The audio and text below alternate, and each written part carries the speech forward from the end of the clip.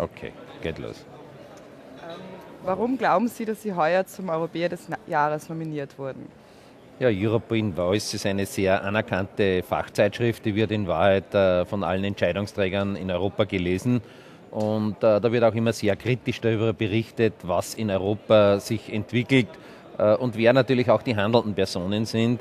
Und ich glaube, dass ich jetzt nach zwölf Jahren im Europäischen Parlament natürlich auch die handelnden Personen alle sehr gut kennengelernt habe und das natürlich auch äh, spürbar wird, äh, weil man diverse Projekte äh, oder diverse Gesetzesvorlagen dementsprechend effizient umsetzt. Und insofern freut es mich, dass eine hochkarätige Jury bei European Voice mich als einen der 50 äh, Abgeordneten äh, bzw. handelnden Personen auf europäischer Ebene vorgesehen hat, äh, um Europäer des Jahres zu werden. Ich empfinde das eigentlich wie olympische Disziplin. Äh, man ist nominiert zur Olympiade und äh, darauf bin ich ganz besonders stolz. Welche anderen Großprojekte haben Sie heuer noch betrieben?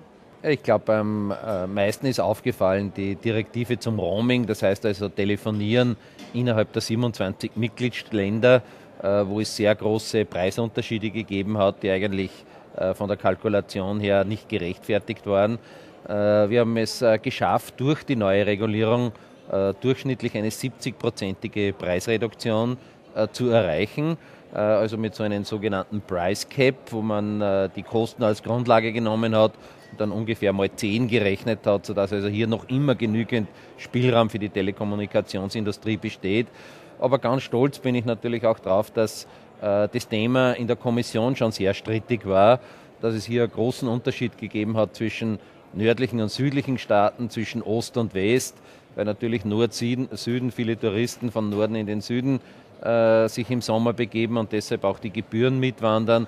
Oder Ost-West, Länder mit sehr geringen äh, Einkommen haben natürlich hier auch größere Probleme gehabt, die Roaming-Gebühren zu bezahlen. Oder neue Telekom-Unternehmen, die am Markt gekommen sind, gegen etablierte. Also ein Riesenspannungsfeld. Und uns ist es gelungen, den Vorschlag der Kommission innerhalb äh, von sieben Monaten nicht nur zu verbessern, sondern auch in Kraft zu setzen. Und das hat es, glaube ich, auf äh, europäischer Ebene in diesem Bereich noch nie gegeben. Es ist uns fernerhin gelungen, erstes Mal eine Gesetzgebung durchzusetzen, äh, die nur drei Jahre gilt, also eine sogenannte Sunset Clause.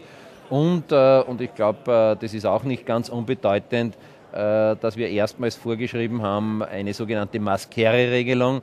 Das heißt also, dass jedes Telekom-Unternehmen ein Recht hat, jeden Kunden über bereits vorhandene Infrastruktur zu erreichen.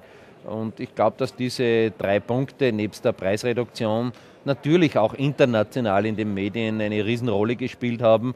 Ich glaube, es war einer der Gesetzgebungsakte, der weltweit äh, mit allergrößter Aufmerksamkeit verfolgt wurde.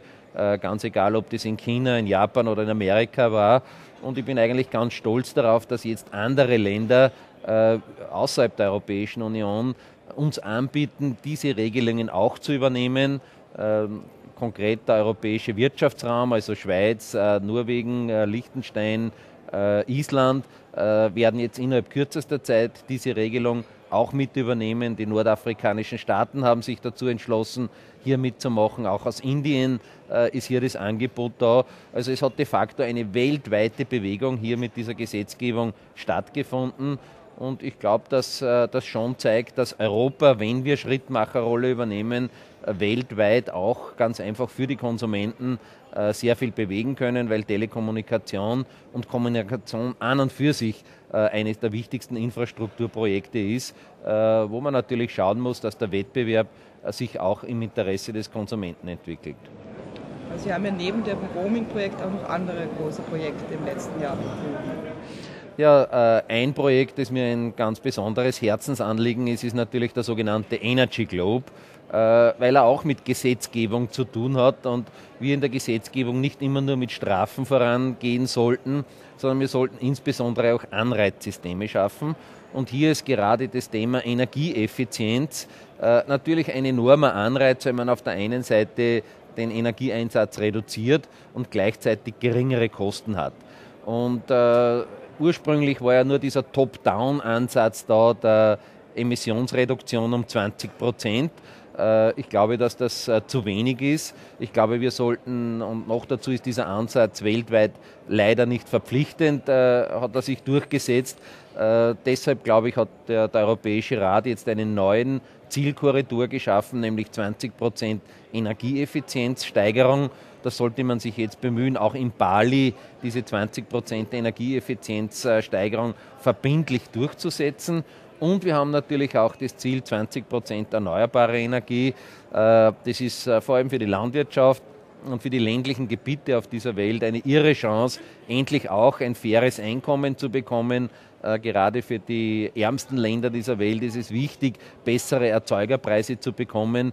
Und ich glaube, dass das für den Weltmarkt auch eine Riesenherausforderung ist, äh, dass nicht nur der Lebensmittelmarkt hier eine neue Chance erhält, äh, sondern auch die erneuerbare Energie. Und ich glaube, das ist eine Win-Win-Situation, die uns auch zu neuen Regelungen in der WTO verhelfen wird. Und glaube ich, mit Öffnung der Märkte und mit ordentlichen Preisen, nämlich beides gehört zusammen, äh, ist ein neuer Wachstumsschub äh, für Europa gewährleistet. Und dafür setzen wir uns natürlich ein. Und äh, letztlich ist ja Wirtschaft dann auch die Grundlage äh, für mein drittes Projekt, das ist das sogenannte Friedenslicht, äh, das wir jedes Jahr aus Bethlehem kommend über Österreich dem Präsidenten des Europäischen Parlaments übermitteln.